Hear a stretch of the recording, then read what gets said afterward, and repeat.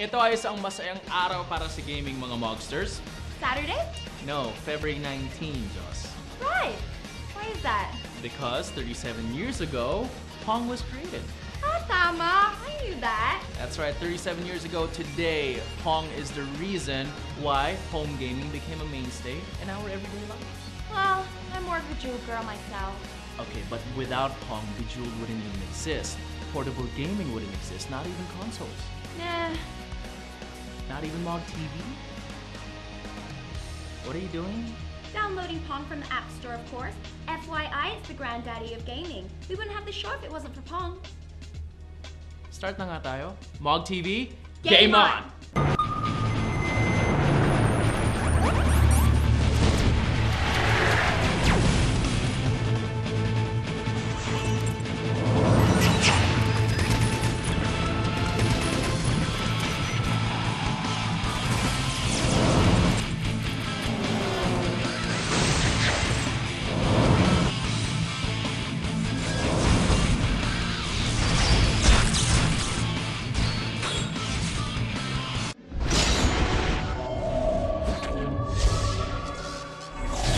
If you haven't heard, the successor to the PSP is out, and it's not going to be called the PSP 2.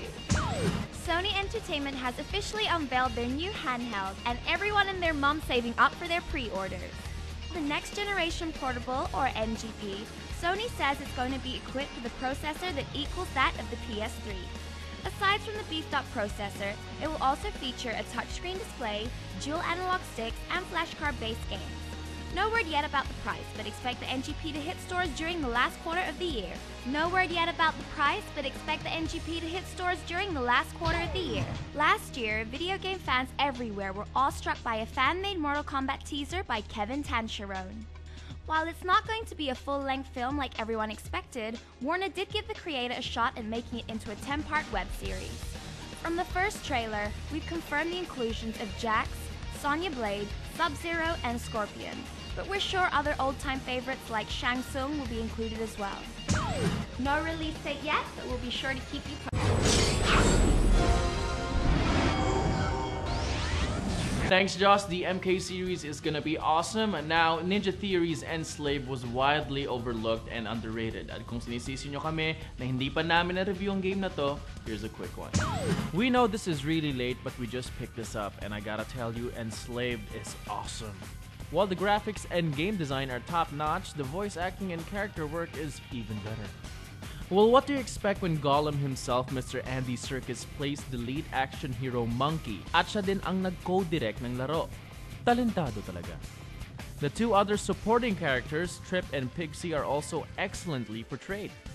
The chemistry between the three is video game magic and pure entertainment. Add mo to sa saya ng action at sa galing ng art at game direction at meron kang isang masterpiece. Enslave was given 6 nominations from the IAA and from us, well, medyo glitchy siya, so 4.5 stars lang. But now for some Enslave tips and tricks. The regular enemies in this game can be defeated with some quick reflexes and well-timed dodges. The same can actually be said about the bosses, pero mas matigas nga lang sila. Tulad ng unang away sa Mecha Dog, your Cloud really comes in handy in this fight. Float away and fire at the mean doggy with your pulse blast from a safe distance. Dodge, then go in for a few hits. The strong attack will make his life bar go down faster. Rinse and repeat. But like we said, the game's kinda glitchy. Kung tatayo ka sa sulok na to, lapit lang sa sirang kotse, hindi ka mapapahamak. You can do the whole routine without running away or dodging. Cheater. Either way, dead doggy. Later in the game, you'll encounter another animal type mecha, the rhino. Kailangan mo ng mas malakas na firepower dito kasi ang kapal ng buwisit na to. Pixie will help you out by throwing some explosives. Make sure the rhino runs towards the bomb, then fire when it's near. It's gonna keep on running though, so jump out of the way.